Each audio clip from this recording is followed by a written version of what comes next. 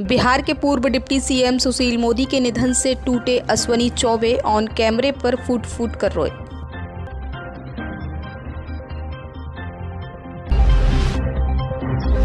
तेज प्रताप ने गुस्से में कार्यकर्ता को धक्का मारकर मंच से गिराया वीडियो वायरल।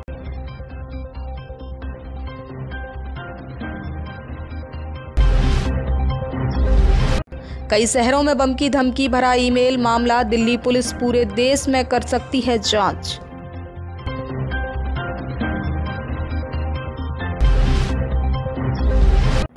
आज वाराणसी में नामांकन दाखिल करेंगे पीएम मोदी, दशाश्वमेध घाट पर की पूजा।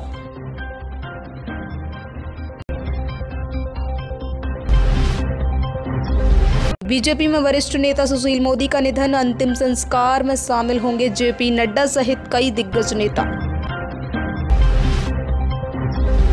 कोयला घोटाला मामले में आया नया मोड़, मुख्य आरोपी अनूप माझी ने कोर्ट में किया आत्मसमर्पण। सलमान खान के घर पर फायरिंग मामले में छुटा आरोपित हरियाणा से गिरफ़्तार।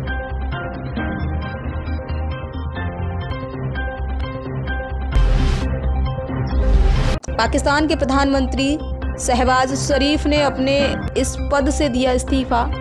अब नवाज़ शरीफ संभालेंगे कमान।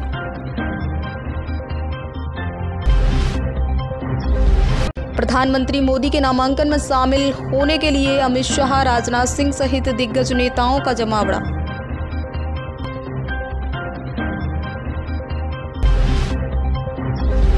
कन्हैया कुमार ने प्रधानमंत्री मोदी को दी चुनौती, कहा अंबानी और अडानी के यहाँ भेजें ईडी और सीबीआई।